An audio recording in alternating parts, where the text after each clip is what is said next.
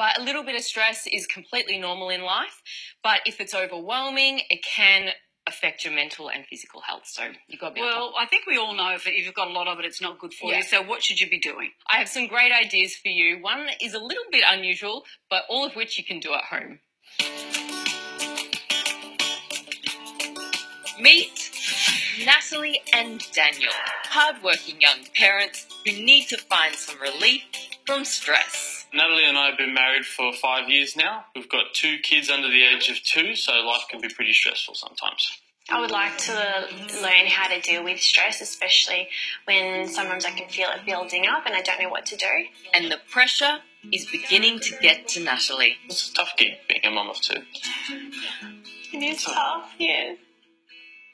Your motivation is you want to try and create an environment that's good for the kids to grow up in. Yeah. And so that's why we want to try and find ways of dealing with stress. Yeah, it's tough. Dealing with stress doesn't have to take a lot of time. I've got some simple tips for Natalie and Daniel to try at home. Two kids under two.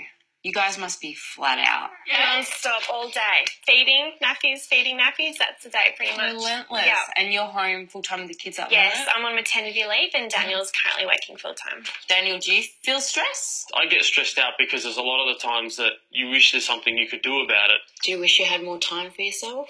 Oh yeah, for sure. Hey, there's only so many hours in a day. Yeah. Natalie, like many new mums, is struggling to find time for herself. But stress relief can be as easy as something we do all day. The first exercise we're going to do is as simple as breathing. And all we're going to do is inhale for five seconds and then exhale for five seconds. Breathing, the most basic human necessity. But it can also be a tool to relieve stress. Hold your hand here, breathe in, and breathe out. Breathe in. Even baby Ariana's finding it relaxing. Okay, so you're not breathing high up, you're breathing deep into your stomach. That feels really good. Yeah. Yeah, I can definitely feel less tense. Yeah. And it just gives you a moment to connect with yourself. Go give to yourself before you can give to them. Yeah. Let's head to a very busy part of the home the kitchen. Food and stress. Do you think there's a link, Natalie? Oh, most definitely, yeah. When we feel anxious or stressed, we often resort to snacking on sugary foods. Next exercise we're going to do is just tapping on acupressure points on your body, and it's very effective in releasing energy and processing thoughts and feelings. So Yeah. grab two fingers like this, and the first point we're going to work on is here. This may look a bit silly, but tapping can be effective when you want to focus your mind. Now move your hand around to your temple. That's it. Now come under your eye. So this is a way to distract yourself from the craving. Yeah. It's also releasing energy because it's tapping acupuncture points. Yeah. Now on here, on your collarbone, just tap. And lastly, come here on the karate chop, right there on the wrist. Okay.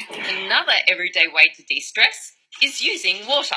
This exercise is all about getting in touch with your senses and is perfect for the shower. I really want you to concentrate on being in the moment and the sound and the feel of that water to just relax and calm. What are you feeling? Water? Nice water, relaxing, peaceful, calming. When you're next in the shower, try closing your eyes and focusing on the sensations of the water on your body. All right, take the eye masks off. How was that? that was actually really good. I can definitely put that into practice in the shower. My final tip is to replace those marshmallows with nutritious food to help fight stress. So here I've got a selection of vitamin-rich foods that help to de-stress the body. So you have your nuts, which help boost the immune system. Yum. You've got your leafy greens, which are full of fiber, and that actually helps to stabilize your blood sugar. Then you've got avocados, full of good fats, and again, it's really good to stabilize your mood. And then your berries, full of antioxidants. If you put these in your body, it's going to help to rid yourself of cortisol and stress. Yeah. I hope it really does help you. It's been great. No yoga mat required. well, good luck, and I hope that you can really enjoy a bit of meditation in action. Thanks, Tiff. Thanks Appreciate so it. much. I'll see you later.